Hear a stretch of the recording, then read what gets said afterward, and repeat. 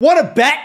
Yeah. Yeah. You Where can could. I do it? You can do it at Sports Interaction. It's Canada's sportsbook. Yeah. Every hockey, football, and basketball game at your fingertips. And the World Cup is almost here. We're going to be talking about some of that throughout the month of November. So excited. You can bet pregame, live and play, or one of our many prop bets made for Canadians by Canadians. It's Sports Interaction, and it makes it easy to deposit, play, and cash out. Why are we raising the roof?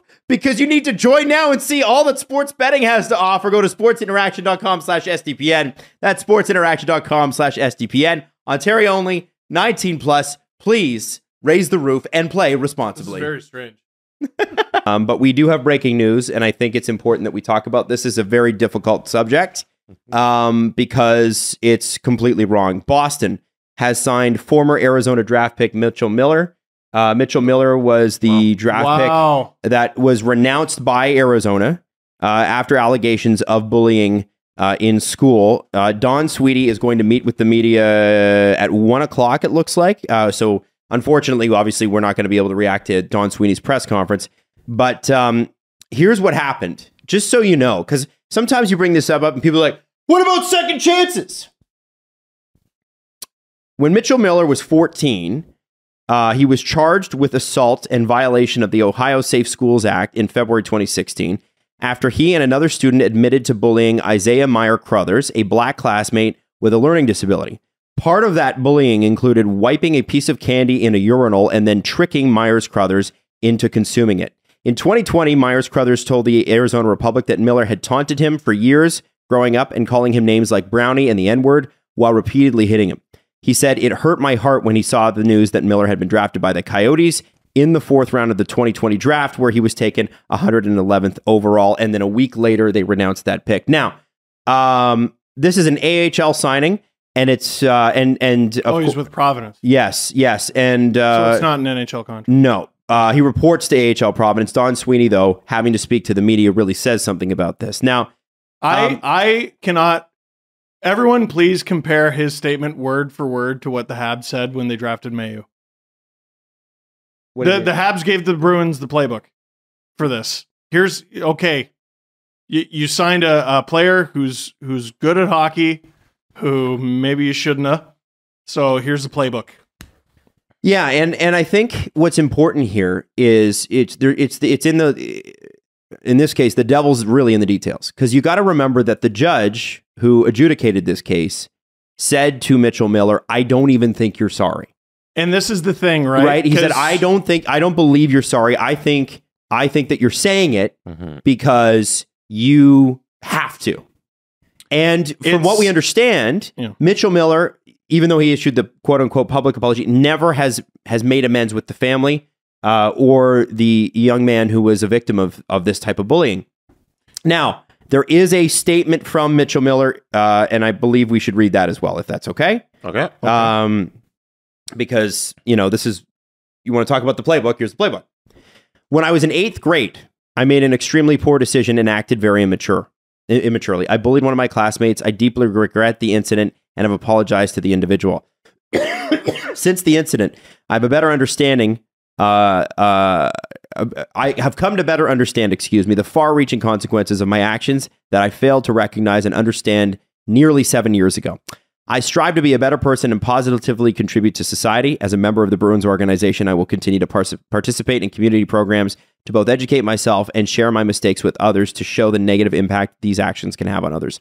To be clear, what I did when I was 14 years old was wrong and unacceptable. There is no place in this world for being disrespectful to others, and I pledge to use this opportunity to speak out against mistreating others. There's something that's mentioned thrice in there. Can you tell me what it is? is it his age? His age and how young he was when it, he did it. It's a. I remember when the story originally came to light, and I had some difficulty with it because it's a monstrous acts, b of a child. Mm-hmm. He's a child, right? When this Mhm. happened, but you brought up the very important point that when once he was an adult, eighteen, a young adult, sure, but an adult, the judge said he's not. He doesn't appear sorry. Yeah, and the mother, uh, the mother, the letter from the mother of the child who was bullied when she came out and said that he never apologized to our family, and there was so much. Uh, Wrote an open letter to the NHL and the Coyotes. Oh yeah, and and he was never apologetic. So I'm with these things, I'm like, is there not other people who play hockey? Yeah, Is but they're Mitch- not as good as him. Is is he so good at hockey that he needs this position Yes. in Providence? According to the Bruins. That's ridiculous. Well, and, and and you know what? Here's the thing. People are like, what about second chances? Yeah, man, listen. Second chances exist. But you start with, hey, I'm really fucking sorry.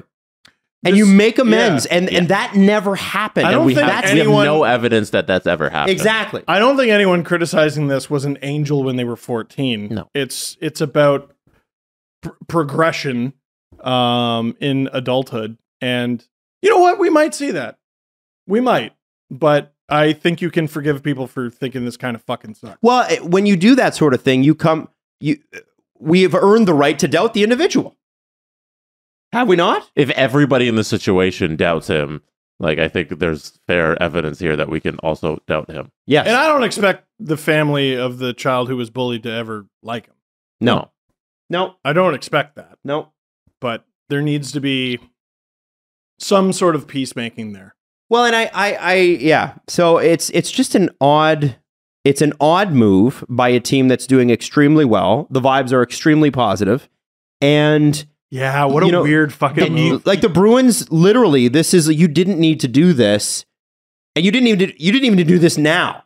Like the Bruins are a surprise first place run away with the division team right now. They're 10 and 1. and your GM is like having to do PR control in 20 minutes because you had to make this signing in October. You know what that means, though, guys? Somebody else was going to sign him. Probably. But okay. You're- You're not making this signing on Friday, November 4th. I, I hate to do this. The day before you play the Leafs. That's what I was about Oh, to say. yeah. They also did this the day before, not just playing the Leafs, Hockey Night in Canada. So now you've created a media storm for the la- next 24 hours. Like, that's all people are going to talk about tomorrow Right. night around broadcast. around your team where there is quite literally nothing bad to talk about. all we should be talking about is the greatest start in Boston Bruins history. the team is uh, 98 years old. They're coming up on their 100th anniversary of the team, and they're having their best start ever. And we should be talking about that all Saturday as they play the Leafs. Man. And now we got to talk about this nonsense. You know, What the hell is going you on? You know that the Hockey Night in Canada producers had a whole bunch of like Game Seven clips and montages and oh Leafs and Bruins. You know, it's the first step on the Leafs, maybe the Leafs uh, retribution against the Bruins, and it's like throw all that out the window. We got to talk about this. and they know that. They 100% know what's happening tomorrow. They so that tells me Don Sweeney isn't stupid. Don Sweeney Yeah? is not making well. He okay, okay, fair enough. all right. But but Don Sweeney is going okay. I know this is gonna we're gonna take a shit kicking for the next week, month, year, whatever. But somebody else is gonna sign him, and I want him.